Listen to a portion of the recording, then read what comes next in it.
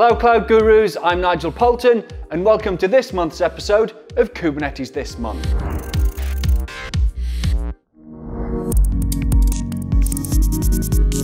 As usual, we'll skip through the major announcements from the month in our quick catch-up section.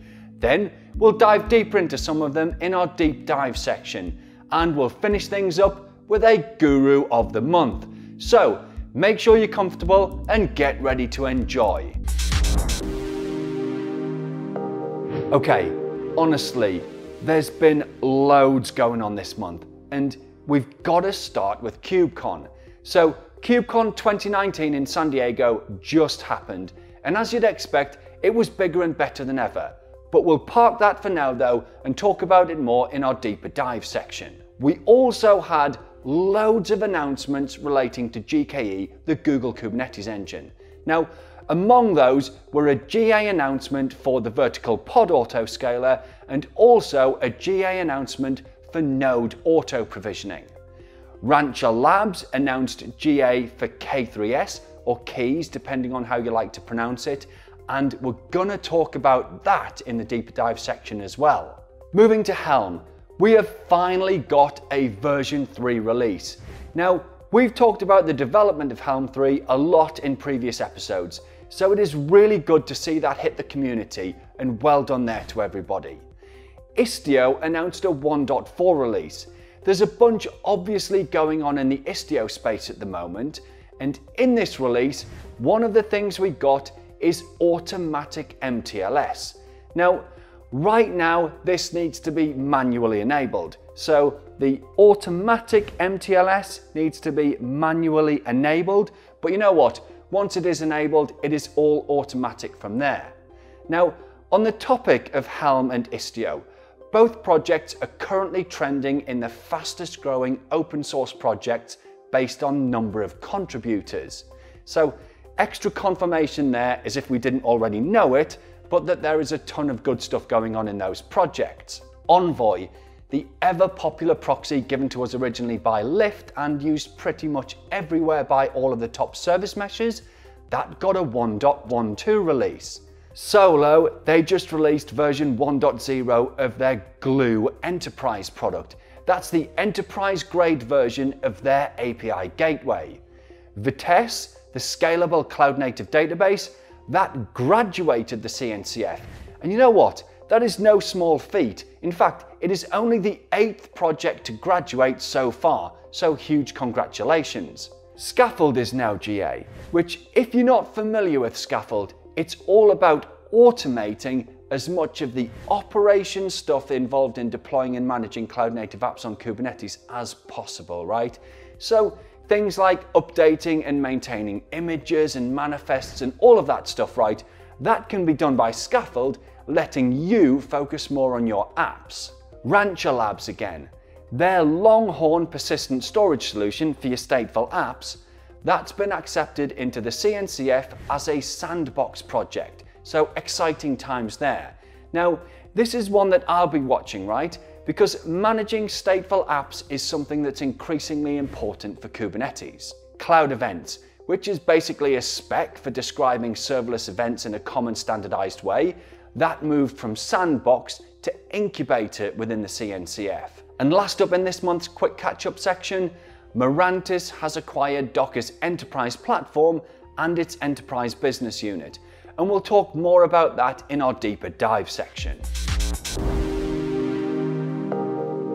Okay, so in this month's deeper dive section, we'll look at KubeCon, K3S from Rancher Labs, and Mirantis acquiring Docker Enterprise. Okay, so KubeCon and Cloud Native Con hit the warm, sunny beaches of San Diego. And as we mentioned, it was bigger and better than ever. Overall attendance topped 12,000, with around 8,000 making it into the opening keynote. Now, of interest was the fact that around probably two thirds to three quarters at the keynote were first time attendees, and a lot of those were pretty new to Kubernetes. So a lot of people climbing aboard the good ship Kubernetes. And you know what? A lot of those are from the more traditional enterprises. And I felt right, a lot of people from more of a kind of infrastructure and operations background. Now, as opposed to previous KubeCons, where there's often felt like a major theme running throughout the conference, this one didn't have that feel. But I did get a sense of a couple of subtle themes. First up, we've been talking about Service Mesh for ages, right? But it's starting to feel like we're getting real adoption. Now, that's due to some of the things that we've talked about on previous episodes of this, right? So, I mean, Linkerd and Istio have both gotten way easier to deploy and work with. But as well, the hosted Kubernetes platforms on the major clouds, they are making it really simple to deploy a mesh these days. So I feel like we're starting to see real adoption of service meshes, and you should seriously be considering meshes for your environment. Now, I also felt that KubeCon, like a lot of projects and technologies, are getting stable or GA releases. So KubeCon is getting bigger with lots of noobs in attendance here, service meshes are starting to be adopted, and tons of things are going GA. Now to me, that just proves that Kubernetes is maturing nicely. Now then, K3S, sometimes pronounced keys, let me tell you, this is cool but it's also a serious project to check out and one to keep an eye on. Now, the original idea was for K3S to be a lightweight Kubernetes distribution for IoT and edge use cases. So think like small binary size with a low memory footprint and all of that jazz, right? And that is exactly what it is, only it is becoming way more than just for the edge. Because the thing is, the community absolutely love it and they're using it all over the place, not just the edge. So why do people love it so much? Well, for starters, right, it's lightweight, like 40 or 50 meg, but it's also fully certified, so you're getting the full and proper Kubernetes experience. Just super small, super easy to install, and it is production grade.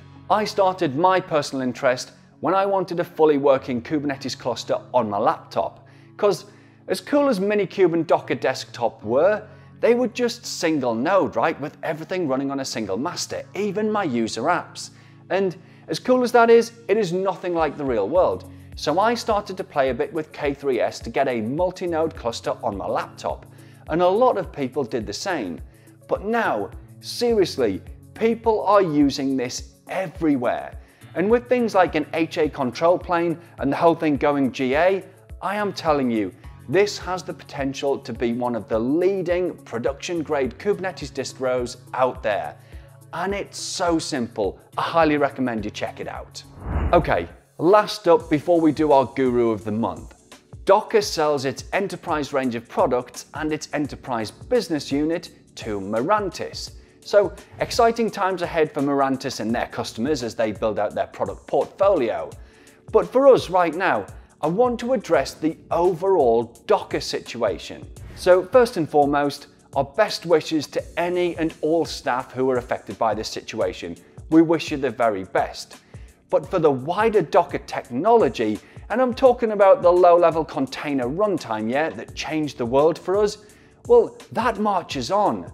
So Docker Inc., okay, they've secured $35 million in funding to keep operating, and their focus is going to be on developer tooling and workflows. But the Docker project, I mean, that's open source, right? So that means, I guess like Linux, it can exist and thrive outside of a commercial company kind of owning and managing it. And that was always the intention. The folks behind Docker always wanted the core container runtime to be owned and developed by the community. So yes, lots of change with like the way the business is structured and where people work and who owns what on the commercial product side. But the core Docker container technology, that remains as is. So a thriving open source project that is key to so much that we do today in the cloud native world. And that wraps up our deeper dive section. Okay, Guru of the Month. Will it be you? Last month we asked, how do we inject service mesh sidecars into pods on our Kubernetes clusters? And the answer was A, via a mutating admission controller. And our winner this month is Moritz Graf, a DevOps engineer from Regensburg, Germany. So well done Moritz and you'll be getting a goodie bag in the post. And of course as well, thanks to everyone who pitched in with answers. I love it, right? Anyway, this month's question is live in the forum link below and seriously, if you think you know the answer, have a go and get involved. Live a little, yeah? Put yourself to the test. You might even enjoy it. And on that note, you know the drill by now. Thanks for watching and we'll see you again next month. Same cube time, same cube place.